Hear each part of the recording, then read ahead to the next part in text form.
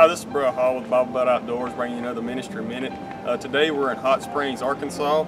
We're here at the Hot Springs uh, State Tower. And what I want to do is I want to read from Genesis chapter 11 verse 1 through 9. It says, and this is the Tower of the Bible, it says, Now the whole world had one language and a common speech. As people moved eastward, they found a plain of Shinar and settled there. They said to each other, Come, let's make bricks and bake them thoroughly. They used bricks instead of stones and tar and mortar. Then they said, Come, let us build ourselves a city with a tower that reaches to the heavens, so that we may make a name for ourselves. Otherwise, we will be scattered over the face of the whole earth. But the Lord came down to see the city and the tower the people were building. The Lord said, If as one people speak in the same language they have begun to do this, then nothing they plan to do will be impossible for them. Come, let us go down and confuse their language so that they will not understand each other. So the Lord scattered them from there all over the earth, and they stooped down to build the city, that is what is called Babel.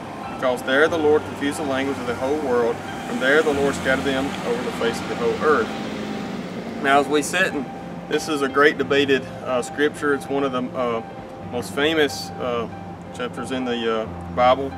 But you know, not to focus on, on the language as one common speech. That was really not the, the evil that uh, the Lord was trying to focus in on. There was nothing within itself wrong with that, but it was that uh, the Lord, after Noah and the flood, had commissioned them to go out amongst the world and multiply. But here you see them picking up their tents and going into the city and building uh, this tower, which was could become their idol. And that's what the Lord wanted to come down and ensure that that did not happen. So then He scattered them uh, amongst in multiple languages we know today. And that's what I want to focus in in our lives. We can uh, a lot of times do that. It says, uh, come, let's make brick and bake them.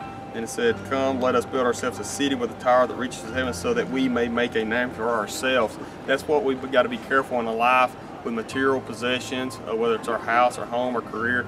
If we're so focused on making a name for ourselves, we'll forget uh, to spread the gospel and to uh, share that love and hope to others and spread His name. Thanks and God bless.